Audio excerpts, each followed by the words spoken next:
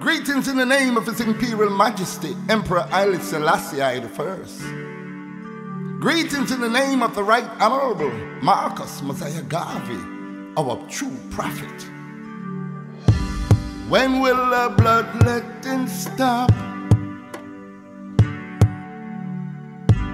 When will the bloodletting stop? Killing my people day and night. They come like vampires in full flight. And if night should turn to day, enough of them would run away.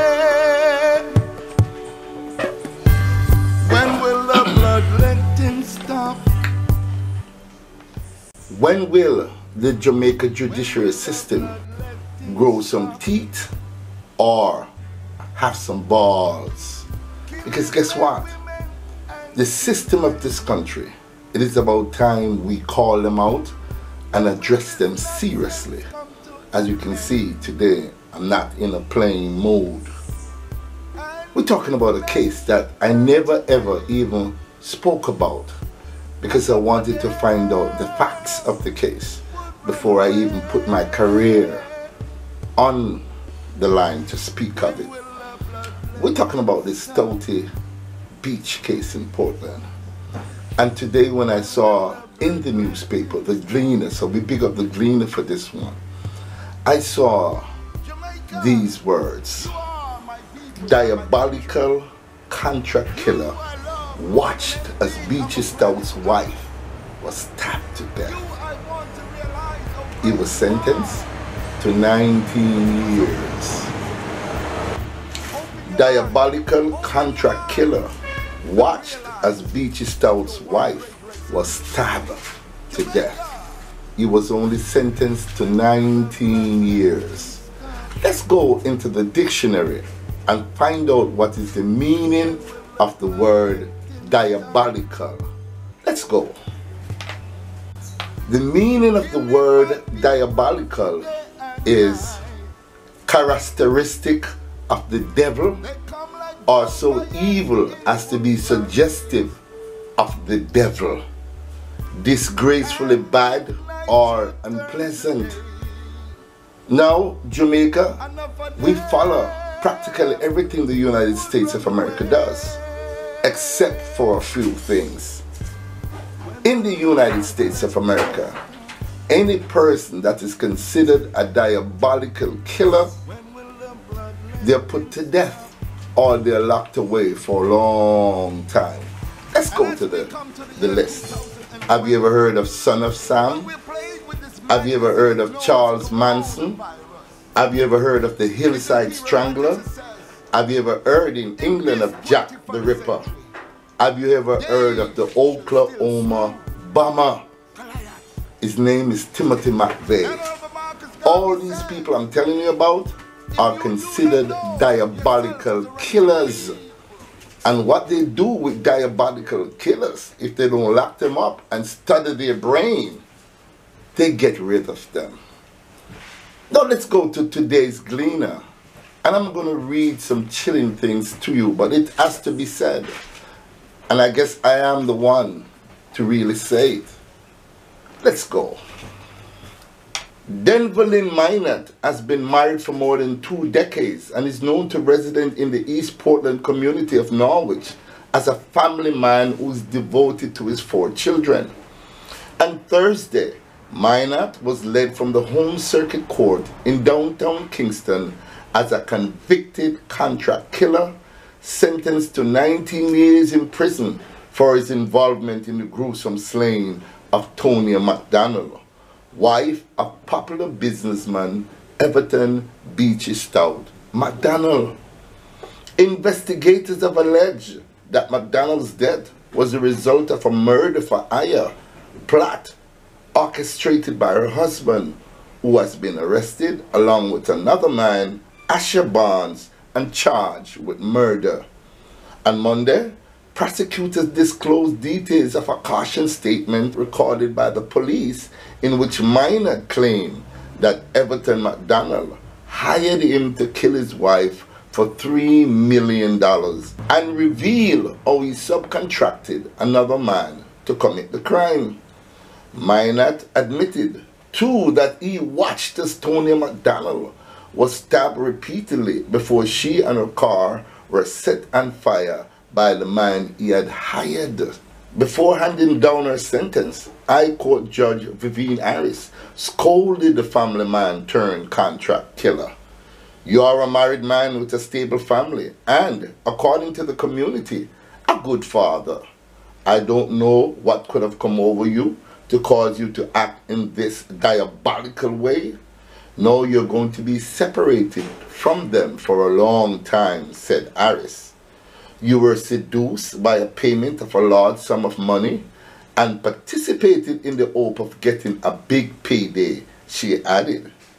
Tonia McDonald's partially burnt body was found with the throat slash beside a raised motor car along the Sherwood Forest main road on July 20th this year. Minot, in his caution statement, which was cited in court by prosecutors, claimed that he had been contracted by Everton McDonald to kill Tanya. He said that the arrangement was that payment of $3 million would be made for the killing of Mrs. McDonald. One prosecutor disclosed, citing the caution statement. Minot, a fisherman who also resides in Portland, claimed too that Beachy Stout gave him clear instruction on how his wife should be killed. Wow. He didn't want Mrs. McDonald to be shot, but said that she was to be stabbed up and her body burned, he told detectives, according to prosecutors. Minot admitted that he gave the work to another man known to him only as the youth.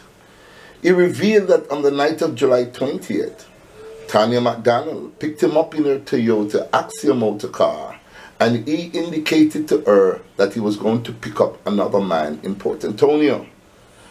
The trio traveled towards Sherwood Forest, he said, when the youth asked Tanya to stop and turn around the car as they approached a three-way intersection. Minot recalls stepping out of the vehicle after Tanya complied with the request, causing her to become fearful. Where you are go? Me afraid. You know see here dark. He quoted her as saying. According to Minot, the other man also got out of the car before quickly getting back in. He said the youth grabbed her, Tanya, around the headrest of the driver's seat and they were wrestling. He said he then saw when the youth stabbed her and he saw blood coming from her two sides and her back and her neck, a prosecutor's reveal in court. Minot said the man had a bottle containing an apparent flammable liquid. The car caught fire and Minot left the scene to call Everton McDonald and told him what had happened. The Sunside police reported that while the scene was being processed, Everton McDonald arrived and identified his wife's body as well as her motor car.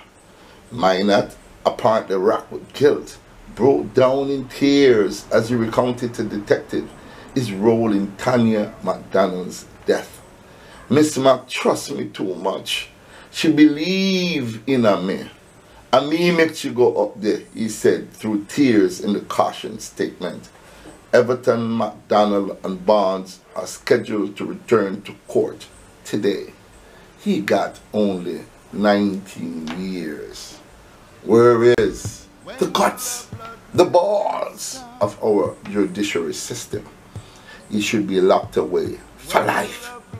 And also, if he wasn't given the death penalty, which he should get, he should be studied because the brains of these people are diabolical, they're evil. And there are a lot of diabolical people roaming our streets in Jamaica. The judiciary system get a chance to get a hold of them. But you know what they do? They simply let them back out in the street to terrorize our people. Jamaica, when are we going to wake up? and understand that Our ancestors, the Nanny of the Maroons, the Paul Bogle, the Sam Sharpe, the Marcus Garvey, all our great freedom fighters from around the world, Marcus Garvey led them. Malcolm X, Martin Luther King, Kwame Nkrumah, Patrice Lumumba, Nelson Mandela, Steve Bantu Biko, and all the others. Too much to even mention. Marcus Garvey led the way. And yet still, we spit in the face of this great Jamaican. A man that came with a plan and a vision to lead the people like Moses across to the promised land. Jamaica, you're already in the promised land. This is the promised land. Everybody on the planet Earth want to come to Jamaica, to this piece of the rock. I'm not making this up. Look at what how much money the tourist industry make from this little piece of island. They used to rebuke Rastafarian, lock them up, kill them. And yet still they use Bob Marley as a symbol of tourism.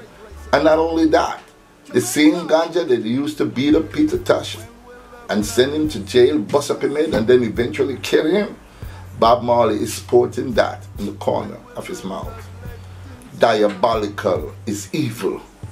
Diabolical should be locked away for life. They should never be given a second chance. Because you know what? The mind, the old concept of life is thwarted. We cannot fix a damaged, mangled truck that is considered totally, totally destroyed. Wake up, Jamaica. Thank you very much for watching, ladies and gentlemen. Please like, share, and you can make a comment after you watch this video. And if you have not yet subscribe to my channel. Now is the time.